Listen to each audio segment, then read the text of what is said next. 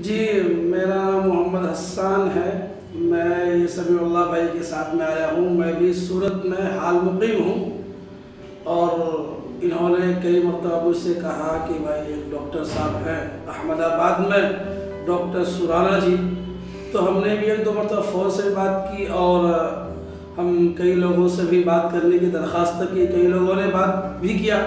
लेकिन डॉक्टर साहब के जो क्लिनिक में लोग रहते हैं, उन्होंने मशवरा दिया और भी लोगों ने मशवरा दिया कि आप आइए, पहले देखिए, उसके बाद फिर आपको अगर शर सदर हो तो इलाज शुरू कराइए।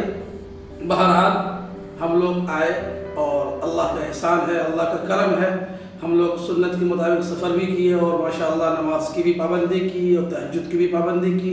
अल्लाह के करम से हम लोग आए और अल्लाह ने कहा है कि भाई पूरा पूरा इसबाब इख्तियार करो और पुख्ता इसबाब इख्तियार करो तो इसबाब के नाते में हम लोग यहाँ पहुँचे और इलाज शुरू की और अल्हम्दुलिल्लाह पहले भी डॉक्टर साहब ने इनको जांचा था।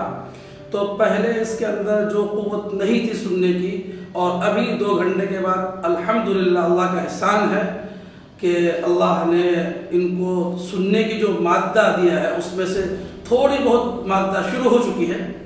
हाँ हम अल्लाह का सबसे पहले एहसान है, अल्लाह का एहसान और करम है, अल्लाह का सबसे पहले फजल है, अल्लाह का हम एहसान और शुक्र अदा करते हैं। और दूसरे नंबर पे डॉक्टर साहब का भी शुक्र अदा करते हैं कि इन्होंने इसबाब के दर्जे में हमारे बच्चों की इलाज शुरू की है। और नाजरीन से भी दरख्वास्त करते हैं कि आप हजरात को अगर शर सदर हो तो आप भी तशरीफ़ लाएँ और कोशिश करें इसबाब के दर्जे में दुनिया दारुल इसबाब है इसबाब इख्तियार करें और फिर वफ़ अमरी अल्लाह के नाते अल्लाह को सुपुर्द कर दें। बस।